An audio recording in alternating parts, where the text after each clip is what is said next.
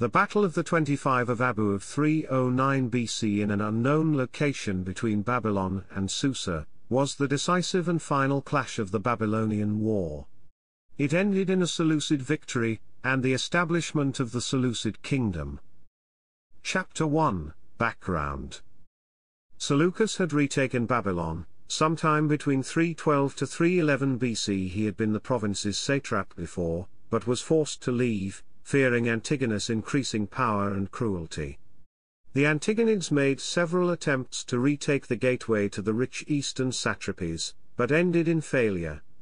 Antigonus made peace with the other Diadochi and marched to Babylon with an army of 75,000 according to some sources. Seleucus then decided to wage a guerrilla war, but Antigonus responded by pillaging and razing the territory, finally forcing Seleucus to face him on open ground, with a significantly smaller force.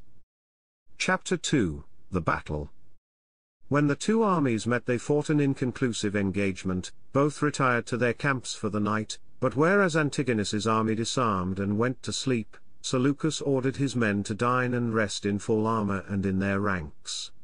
The next morning, as the sun rose from the backs of the already deployed Seleucid phalanx, they began their advance and caught the enemy by surprise, overwhelming the enemy and routing his army. Antigonus managed to escape and gave up on the idea of reconquering the upper satrapies leaving the east, to Seleucus. Chapter 3 The Sources BCHP 3, Livius. www.livius.org. Retrieved the 28th of November 2019. Diadochi 6, The Babylonian War, Livius. www.livius.org. Retrieved the 28th of November 2019. Antigonus the One-Eyed, Greatest of the Successors by Jeff Champions. Wheatley, Pat. Antigonus Monophthalmus in Babylonia, 310 to 308 b. C. Journal of Near Eastern Studies.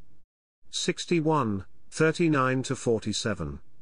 DUI 10.1086468977.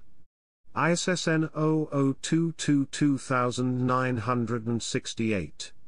Richard A. Billows, Antigonos the One-Eyed and the Creation of the Hellenistic State.